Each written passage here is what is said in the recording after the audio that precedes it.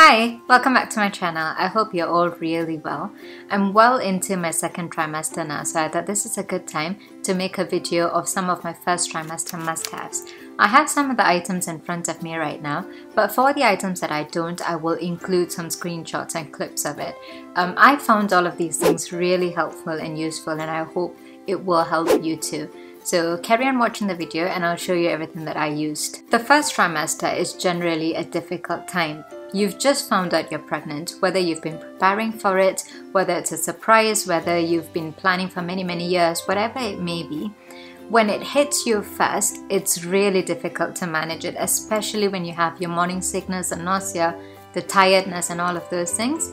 So, the most important thing that I would always say is to get your mindset checked it is really, really important to have an honest talk with yourself and to be open about your thoughts, your fears, your worries, and everything. I've already made a video about this and I will link that on here so that I don't have to repeat everything that I said. That's the most important thing during your first trimester which is having your mindset in the right place. Next will be the food category, the food and the drink category. Now, I am not so much of a water drinker at all. I've got this bad habit that I hardly ever drink water before. I always drink a lot of tea, a lot of juices. I feel like I just cannot drink any water if I haven't got any other supplements into it. I need either glucose powder or, you know, sugar free juice, squash, tea, and all of those things. But ever since I was pregnant, from the first week onwards, it could be because it was summertime, it was hot, but it could also be because your body is generating another baby. Your body needs to generate a lot more blood, and there's so much happening within your body, and you get thirsty naturally. I became extremely, extremely thirsty that I needed to drink so much water.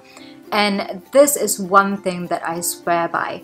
This bottle has the hourly timestamps on it because I'm so bad at drinking water, I will not be able to drink or I won't even know how much I drink if I didn't have this hourly timestamp. I actually bought this for work and I hardly ever used it and I was using it while I was working from home also at the beginning of lockdown. Again, I didn't really follow the timestamp on it. I would probably drink half a day from 8 in the morning until 12 and in the afternoon I won't drink that much at all. If it gets cold, I always go for tea. When I drink tea, I don't drink water. You know, it's a vicious cycle of going uh, round and round and round. But ultimately, what I'm trying to say is that when you need to drink water, especially when you need to measure how much water you drink, this timestamp is so helpful. You know how much you need to drink within the hour and because you can see through, I find that it's so much more easier. There are a lot of other bottles like this about this size where you fill it up twice and that's your um, that's your sufficient amount for that day you know? When it's not see-through i feel like i don't really know how much i'm drinking. I need to be able to see this so i know i'm drinking enough water every hour.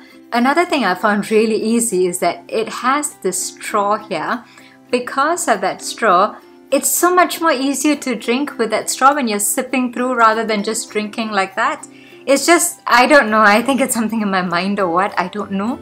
But this has changed my water drinking game a lot. The next one is the ginger sweet. During my first trimester when i had my morning sicknesses and nausea and everything i could hardly ever eat my morning sickness wasn't that bad and it wasn't necessarily morning at all. Most of the time it was in the evening or at night especially after dinner they generally say that ginger is good for nausea. So if you add a little bit of ginger in hot water or lukewarm water, that's good for you.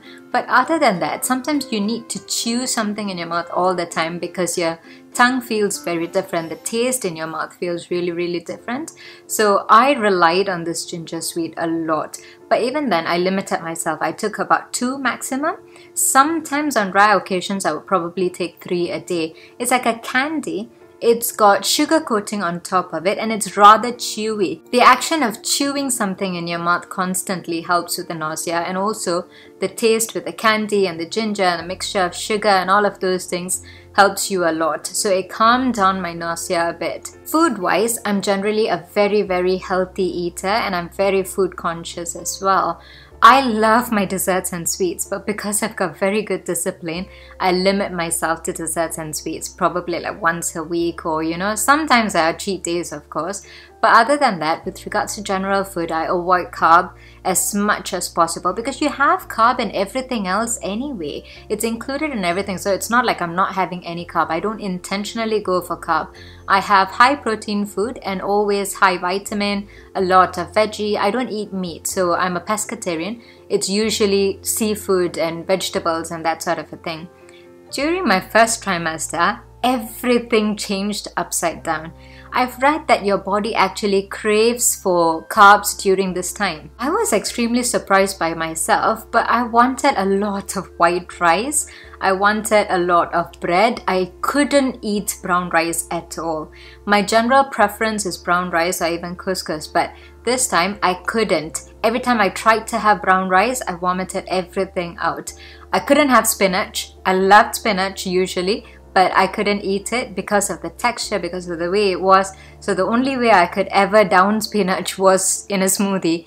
Um, other than that, I cannot eat raw spinach or even cooked spinach as it is. But I had a lot of carb, and that's important, and it's okay because your body actually craves these kind of things during the first trimester. So it's fine for you to forget about your diet. Um, Try and include as much vitamin and vegetables as possible. Try and include protein as well. But on and off, you do need potatoes and starchy food and your comfort food generally. The next category I want to talk about are books. I've also spoken about this before, but I want to show you some of the books. There are different types of books that you can read. You definitely need to read a lot of material about pregnancy, a lot of journals as well. Rely on NHS website if you live in UK. If you are in any other country, then rely on your government website always rely on your doctor or your midwife on what kind of materials that you can read um, you know what kind of symptoms that you will have during your pregnancy what to avoid what not to avoid and all of those things. But some of the books that i want to recommend are these. The first one is um, what to expect when you're expecting all right now, this book is quite thick, but don't be fooled by this at all. It's got a lot of information in here. You can get this online. It is also in an app as well. I find that the book was really helpful because it gave you a lot more information from what you would generally find in an app. Now, this is highly Americanized. So, some of the things that they talk about insurances and, you know, um, symptoms or experiences and hospital experiences and all of those things may not be relevant to you especially if you're you know non-us citizen. But other than that it's very helpful. It gives you a general idea about what to expect every trimester. And it goes from trimester to trimester even month to month. So you don't need to finish reading everything in the beginning. You just read it by the weeks or by the months and it helps you a lot. So that was for me and this was for Lakshman, expectant father. People hardly ever talk about this book, but it is a very, very, very important book. While you're pregnant, it's generally the women who experience everything and the men don't know. Whether it's your emotional feeling, your physical feeling, with everything, you are the one who's experiencing it. No matter how much you explain it to men, they're not going to understand.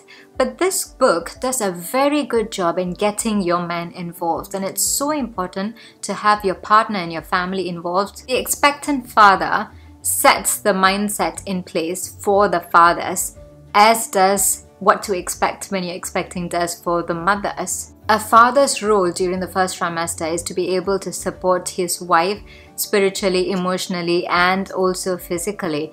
And I think this book does a very good job at training them to do that. Journaling is also a very good thing at this time. I generally type a lot, I write a lot because I think a lot. I'm more of a verbal person sometimes, so I have my moments of verbal diarrhea and all of those things. But I never really had a physical book to write in ages, and I didn't originally want to buy a baby journal at all. But I just wanted to give it a go. I looked at a few online and I thought it was really cute, and I thought, okay, let's just try. So this is the one that I got. It's a baby journal. It's right from bump to birth. In fact, it's all the way up till the first year of the baby also. This one is so interesting. It's got so many details on here. And I found that it was um, helping me to reflect on things. It asks you a question, for example, finding out why I thought I was pregnant, how I found out I was pregnant with you, how I felt when I found you, who I told and how they reacted to the news, hopes, and fears. So you are writing for your baby to read when he or she grows up. And I thought that was really, really interesting. And then it goes by the weeks. You've got week one all the way up till, you know, the first year of the baby's life, obviously. They've given you space to put photos if you needed to, and then they've given you space to write everything that you want to about me and then what I've been up to, you know, whether you had any sicknesses, any feelings, any cravings, what was your weight. And then there is sections where you can input your scans and things. This is a 20 week scan, and this is the one that I've um, kind of filled in all of those things. And I found that it was helping me to reflect I was as I was filling this out at the end of each week and it was really really sweet and nice to remember all those things and I can imagine that it's going to be such a nice gift to give your baby when he or she is so much more older. Other than the informative kind of books there are also other books that you need to read. I generally read a lot. Most of my books are either fictional, non-fictional, something serious, something um, educational usually but in my first trimester, because I was feeling so run down and tired all the time, my brain just couldn't process anything at all. It was at this period that I got hooked on to watching Disney Plus and you know sitcoms and comedies and all of those things and I happened to watch Saving Mr. Banks and Mary Poppins. For some reason I've never seen Mary Poppins before and when I was younger I've never read Mary Poppins. I've read everything of Nancy Drew and Enid Blyton and you know all of those children's books and everything but never Mary Poppins. And I was just so triggered after watching Saving Mr. Banks and I really wanted to read those books. So what did I do? Ordered Mary Poppins books from Amazon. And these are such interesting books. There are five series in this set, in this entire set. And I just found it so, so interesting. The description actually says it's for nine years and above. Um, regardless of how old you are, I feel like sometimes you just need to loosen up. You need something really light-hearted. So as I was looking for some sort of light-hearted reading, I just didn't want to be watching TV all the time. I wanted something useful also. I bought this and it was such a quick read. It was so imaginative. It was thought-provoking instead, you know. And I thought, I've just completely forgotten how to be adventurous. I've completely forgotten how to imagine things that doesn't happen. I've forgotten how to pretend play. Sometimes when I watch my nieces play and they're like, oh, you know, you what, you can pretend play, you can pretend do this, you can pretend do that. I'm like, oh yeah, why don't I ever think of it? When you grow older, when you're an adult, you just completely forget to pretend, do you? You think about practicality, you think about being real and realistic and all of those things. You just forget to be a child. And I think it's a good time to actually go back to being a child during your first trimester when you're so tired and worn out. Just relax, chill, you know, take a break. In line with relaxing and chilling and taking a break, you would probably need a few online subscriptions like Amazon Prime, Disney Plus, Netflix. What else is there? I think you could probably have Sky and all of those things, but I didn't find Sky interesting. I cannot imagine anyone being ever bored with all of these things. I just watched a lot of shows. I binge watched a lot of shows. I'm not proud of it at all, but I really needed to. Like I said, I was just mentally exhausted. I couldn't process anything. I couldn't, um, you know, watch documentaries. I just got extremely bored. I wanted some real, real light-hearted um, comic and that sort of a thing. So yeah, that's helpful. I don't know what else to say about it, but it is really, really helpful. Another category that I really have to talk about in the first trimester are clothes. Now, there are different types of clothes that you really need. First and foremost, um, maternity bras and underwears you definitely need them okay? You grow bigger in ways and shapes and sizes that you don't even imagine. I got some from jojo mama and baby i think that's what they're called. I got some from h&m from amazon from marks and spencer. Um, i will add a link to all of these things if i can find it. And then there's this one thing that i want to show you is this robe that i got from marks and spencer. This is the softest the softest robe ever. I just cannot explain it. Ever since I got it, there has not been a day that I've never worn it, other than the time when it's in the wash and drying. But apart from that, I am always wearing this. Because I work from home, it's been so much more easier. I am generally quite cold blooded at home, even with the heating on. My feet and my hands and my body gets really, really cold, so I need to always bundle up and be warm all the time. At home, I always wear pajama bottoms and jumpers, and I have this robe on. Um, when I have some sort of a meeting, if I need to have my video on, then I take the robe off. But other than that, the robe stays on. It's just so soft and so comfortable. You have to try. Maternity pants is so important. I stopped wearing my regular jeans right from week 5 onwards. Week 4 I still wore it but week 5 I couldn't because you have a lot of bloating in the first couple of weeks. I didn't have any symptoms. In fact I didn't even start showing until 12 weeks maybe. I was really thin so I felt as if a little bit of bump was showing up um, by around 12 weeks and I kind of popped after 16 weeks odd. But before that, because you're bloating, because you're uncomfortable in tight jeans and everything, especially when you're working from home, it's best to have um, either jogger bottoms or you know thin casual pants or maternity jeans. I tried several different types of maternity jeans and the only one that I liked the most where the size and the material and the quality and everything was really good was H&M. I got a pair of black leggings and a pair of blue jeans from H&M.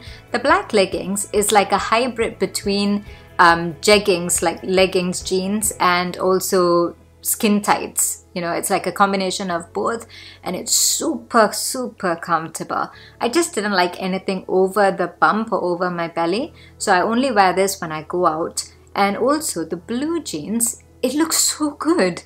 The fit is really really nice. Here's a tip when you're buying maternity clothes I thought I had to size up for everything when I bought maternity clothes, but you don't have to. If you're a regular size 8 or size 6 or whatever size you are, that's all you look for in maternity section because it's designed and cut to fit you that way. So just look for your regular size and it will still fit you, I guarantee. Most of my other clothes are generally really, really loose fitting anyway. I don't really wear tight fitting clothes. You will be able to fit into your regular clothes for the first trimester without having to buy a lot of new things during the first trimester.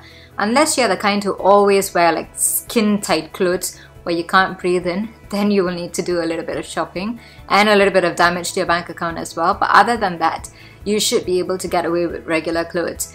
Just get easy going jeans and pants, that's all. That's the biggest thing that you need during the first trimester. And last but not least, get yourself a few pregnancy apps. I've got about six, maybe even seven. I don't know, I've got a whole folder of pregnancy apps and I use each one for different purposes. Let me know if you're interested and I'll probably make another video just talking about the apps, why I use it, how I use it and how useful it is. Because when I first found out I was pregnant, I was googling a lot of apps and I was looking at a lot of other YouTube videos and I had to test out a few apps before I decided which ones I wanted to use for what purposes and all of those things. But these apps will help you track things, whether you write it down on a diary or whether you want to log it on your apps, whichever is convenient for you. But I still feel like you need a diary, as in you need a journal for your baby journal, but you also need those apps for your own tracking of all of your symptoms, your weight, your size, and um, your appointments, especially your mood swings, and all of those things. So it comes in handy for different purposes. So there you have it. Those are my first trimester must-haves. It has helped me ease my journey a lot actually by leaps and bounds. Now if I think about it I don't think I would have been able to get over the first trimester without any of these things at all. It is very essential I feel but some of them are optional. It's entirely up to you. Just give it a go. Think about your lifestyle and see what would suit you and what wouldn't. And then you can adapt it that way I hope you enjoyed it and I hope you found it useful. Let me know if you've had any of these favorites yourself or if you've used any of these things and you found it useful. And just drop in and say a hi. I will see you again next week. Until then, take care. Bye.